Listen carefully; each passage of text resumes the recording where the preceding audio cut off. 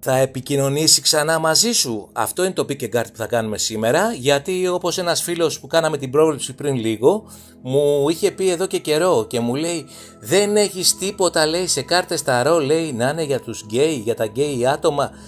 Αυτός για το συγκεκριμένο. Αλλά η συγκεκριμένη πρόβλεψη είναι και για γκέι γυναίκες και για γκέι άντρες. Εντάξει.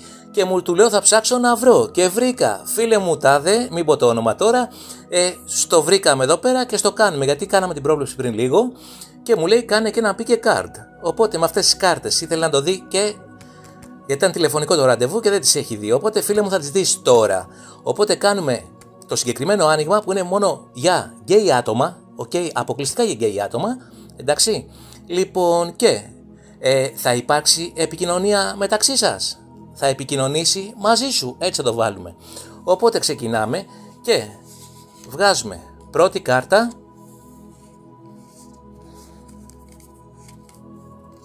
δεύτερη κάρτα και πάμε να πάρουμε και αυτή εδώ πέρα κάτω.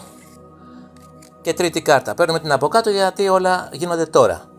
Οπότε, φίλε μου, τάδε και οι υπόλοιποι φίλοι μας, πρώτο, πρώτη, δεύτερη ή τρίτη κάρτα για να δούμε θα υπάρχει επικοινωνία μεταξύ σας. Και εδώ για να ξέρετε ότι ψάξαμε για να ικανοποιήσουμε το φίλο μας σε αυτό που μας ζήτησε. Λοιπόν, πάμε σε σένα που επέλεξες την πρώτη κάρτα να δούμε.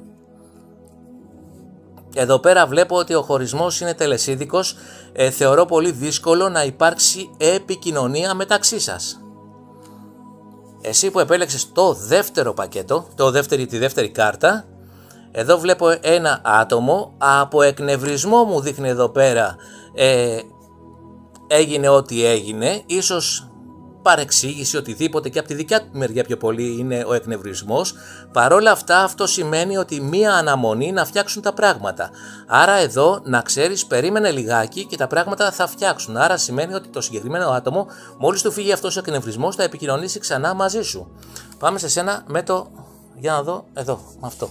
Το τρίτο πακέτο. Το τρίτο, τρίτη κάρτα.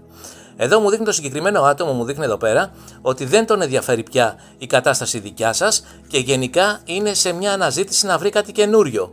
Έχει γυρίσει πια σελίδα, να το πω και διαφορετικά, το δικό σας το story, το βιβλίο, το μυθιστόρημα τελείωσε, εντάξει, και τώρα είναι σε μια αναζήτηση για άλλο πρόσωπο. Μπορεί κιόλας να το έχει ήδη βρει, γι' αυτό κιόλας να γίνει όλη αυτή η ιστορία.